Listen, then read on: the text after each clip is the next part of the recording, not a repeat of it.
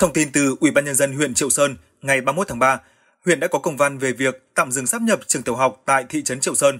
Nội dung công văn nêu, mặc dù được Ủy ban nhân dân huyện, Phòng Giáo dục và Đào tạo, Ủy ban nhân dân thị trấn Triệu Sơn tuyên truyền, phổ biến, giải thích về chủ trương, quy trình các bước sắp nhập trường. Tuy nhiên, đến thời điểm sau buổi đối thoại chiều 29 tháng 3 tại trường tiểu học Nguyễn Bá Ngọc, đa số phụ huynh và người dân vẫn chưa đồng thuận.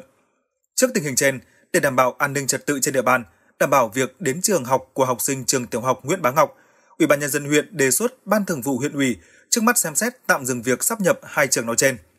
Để tuyên truyền, vận động người dân hiểu rõ về quy định, chủ trương tạm dừng sắp nhập trường tiểu học trên địa bàn, Ủy ban nhân dân thị trấn có ý kiến như sau. Ủy ban nhân dân thị trấn chưa thực hiện việc lập đề án, phương án sắp nhập trường tiểu học trên địa bàn, không thực hiện sắp nhập trường khi chưa lấy ý kiến của cán bộ, giáo viên, phụ huynh học sinh và nhân dân. Trường tiểu học Nguyễn Bá Ngọc vẫn giữ nguyên vị trí, tổ chức dạy và học bình thường. Ủy ban nhân dân thị trấn yêu cầu trường tiểu học Nguyễn Bá Ngọc tuyên truyền, vận động học sinh không tự ý nghỉ học làm ảnh hưởng đến học tập của học sinh. Trường phải tuyên truyền cho phụ huynh tiếp tục cho học sinh đến trường. Nếu các phụ huynh vẫn cố tình không cho các cháu đi học là vi phạm quyền học tập của các cháu. Trường cần giao các giáo viên nắm chắc tình hình, số lượng học sinh đến lớp, quản lý và tổ chức dạy học bình thường. Hàng ngày, giáo viên tổng hợp danh sách học sinh tự ý nghỉ học không lý do, báo cáo lãnh đạo nhà trường để báo cáo Ủy ban nhân dân thị trấn.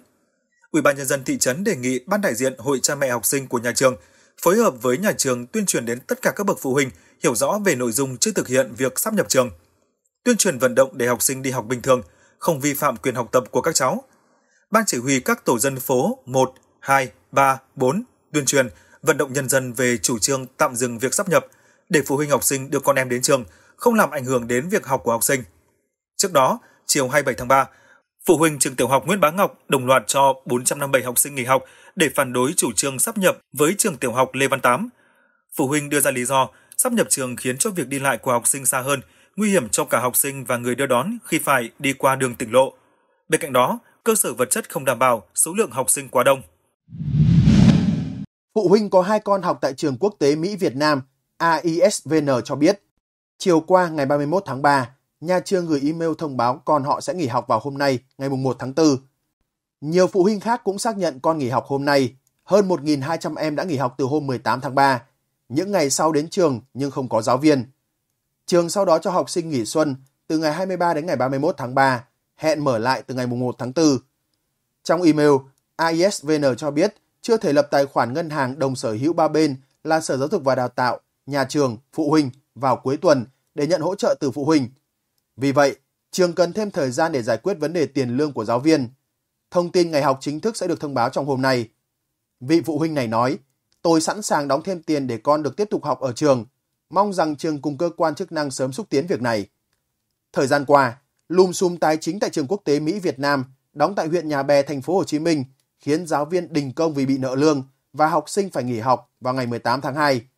Theo dự kiến, trong một tuần lễ nghỉ xuân, bắt đầu từ ngày 25 tháng 3 đến hết ngày 31 tháng 3, chủ trương sẽ mời gọi làm việc với các quỹ đầu tư để có lộ trình, phương án đảm bảo việc dạy và học cho học sinh. Tại cuộc họp ngày 30 tháng 3 giữa đại diện Sở Giáo dục và Đào tạo Thành phố Hồ Chí Minh, Công an Thành phố Hồ Chí Minh, Hội đồng trường và phụ huynh trường quốc tế Mỹ Việt Nam, phần đông phụ huynh thống nhất phương án đóng thêm tiền để duy trì việc học cho học sinh đến hết năm học 2023-2024. Cơ quan ban ngành sẽ mở một tài khoản ngân hàng mới để thu các khoản đóng góp và tài khoản này chịu sự giám sát của các bên cùng đại diện phụ huynh. Phương án dài hạn, phụ huynh nào đã tham gia hợp đồng góp vốn với nhà trường sẽ được quy đổi giá trị hợp đồng thành cổ phần. Trường sẽ tiếp tục đàm phán với các nhà đầu tư dưới sự giám sát của sở, ban, ngành để tiến hành tái cấu trúc. Ông Nguyễn Văn Hiếu, Giám đốc Sở Giáo dục và Đào tạo Thành phố Hồ Chí Minh khẳng định, nếu đóng góp, phụ huynh sẽ là người giám sát quỹ này, cơ quan chức năng cử người hỗ trợ. Để học sinh sớm trở lại học tập, phương án phụ huynh đóng tiền tiếp tương đối hợp lý, bởi nếu chuyển trường, phụ huynh cũng phải nộp học phí ở nơi mới. Kỳ thi tuyển sinh vào lớp 10 Trung học phổ thông công lập năm 2024-2025 tại Hà Nội sẽ diễn ra vào các ngày 8 và ngày 9 tháng 6. Phương thức tuyển sinh vào lớp 10 trường Trung học phổ thông công lập không chuyên ở Hà Nội năm học 2024-2025 là thi tuyển. Sở Giáo dục và Đào tạo Hà Nội sẽ tổ chức một kỳ thi chung vào lớp 10 cho tất cả các trường Trung học phổ thông công lập với 3 bài thi độc lập gồm toán, ngữ văn và ngoại ngữ. Đây là kỳ thi có quy mô lớn với tính cạnh tranh cao. Năm nay, theo Sở Giáo dục và Đào tạo Hà Nội, toàn thành phố dự kiến khoảng 133.000 học sinh xét tốt nghiệp trung học cơ sở. Bên cạnh những lo lắng của các bậc phụ huynh về tính cạnh tranh của kỳ thi vào lớp 10 trung học phổ thông công lập sắp tới đây, thì cũng có nhiều phụ huynh băn khoăn nếu con em họ không có nguyện vọng hay không đủ điều kiện đăng ký dự tuyển vào lớp 10 các trường trung học phổ thông công lập, tư thục thì sẽ đăng ký dự tuyển vào đâu. Về vấn đề này, Sở Giáo dục và Đào tạo Hà Nội cho biết, theo kế hoạch đã được Ủy ban nhân dân thành phố Hà Nội phê duyệt, năm học 2024-2025, các trung tâm giáo dục nghề nghiệp, giáo dục thường xuyên trên địa bàn thành phố áp dụng phương thức xét tuyển để tuyển học sinh vào lớp 10. Cụ thể, các trung tâm thực hiện tuyển sinh theo phương thức xét tuyển dựa trên kết quả học tập, rèn luyện của học sinh được ghi trong học bạ. Nếu lưu ban lớp nào thì lấy kết quả học lại của lớp đó. Các trung tâm giáo dục nghề nghiệp, giáo dục thường xuyên được tuyển học sinh vào học lớp 10 chương trình giáo dục thường xuyên cấp trung học phổ thông không phân biệt khu vực tuyển sinh. Như vậy, dù cư trú ở địa bàn nào, học sinh cũng có thể đăng ký dự tuyển vào lớp 10 ở các trung tâm mà mình mong muốn, bảo đảm thuận tiện nhất. Thời gian đăng ký dự tuyển vào lớp 10 các trung tâm giáo dục nghề nghiệp, giáo dục thường xuyên từ ngày 19 tháng 4. Học sinh lưu ý mốc thời gian này để chủ động chuẩn bị hồ sơ cũng như tìm hiểu về các trung tâm để quyết định nguyện vọng đăng ký cho phù hợp. Trên địa bàn thành phố Hà Nội hiện có 29 trung tâm giáo dục nghề nghiệp, giáo dục thường xuyên. Về cơ bản, bảo đảm ở mỗi quận huyện thị xã đều có một trung tâm. Mới đây, cơ quan an ninh điều tra công an thành phố Hà Nội đã khởi tố vụ án bắt tạm giam bà Bùi Thị Hoài Anh, sinh năm 1984, trú tại trung cư số 390 Bồ Đề, quận Long Biên, giám đốc ngân hàng MSB chi nhánh Thanh Xuân do có dấu hiệu lừa đảo chiếm đoạt tài sản của 8 khách hàng với số tiền 338 tỷ đồng. Khi vụ việc xảy ra, không ít người bày tỏ lo lắng và đặt ra câu hỏi quyền lợi của người gửi tiền vào MSB được đảm bảo ra sao sau vụ việc này. Trước vụ việc này, luật sư Nguyễn Thành Công, công ty Đông Phương Luật thuộc đoàn luật sư thành phố Hồ Chí Minh cho biết cần phải xác định quy trình của MSB về việc gửi tiền của khách hàng gồm nhận tiền của khách hàng, đưa số tiền này vào tài khoản và chuyển thành khoản tiền gửi. Quy trình này gồm những loại công việc cụ thể nào, nhóm cán bộ ngân hàng thực hiện các thủ tục đã đầy đủ hay chưa, nhưng quan trọng nhất là có phổ biến quy trình này đến cho khách hàng hay không.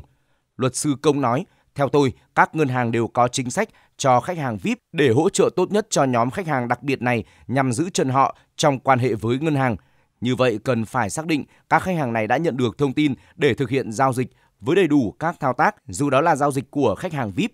Chỉ khi xác định được chính xác vấn đề này thì mới có thể xác định lỗi do ai.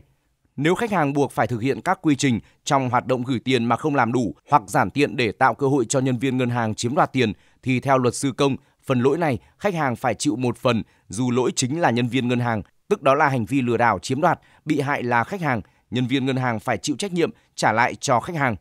Trường hợp khách hàng đã thực hiện đầy đủ thủ tục theo thông tin mà khách hàng nhận được, đúng quy trình của ngân hàng thì lúc này tiền đã được ngân hàng quản lý, đồng nghĩa khi mất số tiền này là từ hành vi tham ô và ngân hàng phải có trách nhiệm trả lại khoản tiền này cho khách hàng.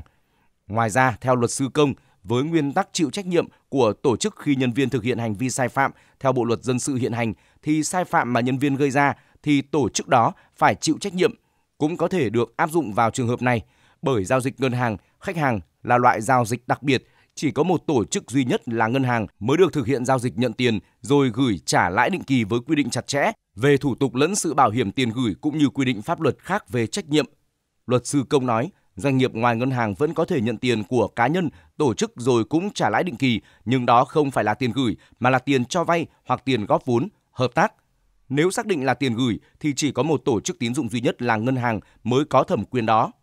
Như vậy, ngân hàng có các quy định chung của nhà nước ấn định được nhận tiền gửi và trả lãi định kỳ với hạn mức trần luật định mà không được vượt trần. Còn doanh nghiệp thì không có bất cứ hạn mức trần nào. Vì vậy, quy định của pháp luật cũng rất chặt chẽ dành cho ngân hàng khi nhận tiền gửi. Song song đó, quy trình nhận tiền gửi được luật hóa theo luật các tổ chức tín dụng và các văn bản dưới luật để hướng dẫn thực hiện đúng. Mọi hoạt động trái với quy trình công bố là không đảm bảo và phải chịu trách nhiệm tương ứng. Trên cơ sở này, cần phải xác định trách nhiệm của MSB khi các văn bản, chứng từ đã phát hành khi nhận số tiền gửi này của khách hàng đúng theo quy định. Cuối cùng, luật sư công khẳng định việc tiền bị chiếm đoạt là trách nhiệm của MSB bởi với chứng đó giấy tờ đủ cơ sở xác định tiền gửi của khách hàng đã được nhập vào kho ngân hàng nên đã phát sinh quyền được đảm bảo tài sản của khách hàng. Việc mất mát là trách nhiệm của ngân hàng chứ không thể đổ lỗi cho khách hàng để buộc họ phải đòi cá nhân đã chiếm đoạt là nhân viên ngân hàng.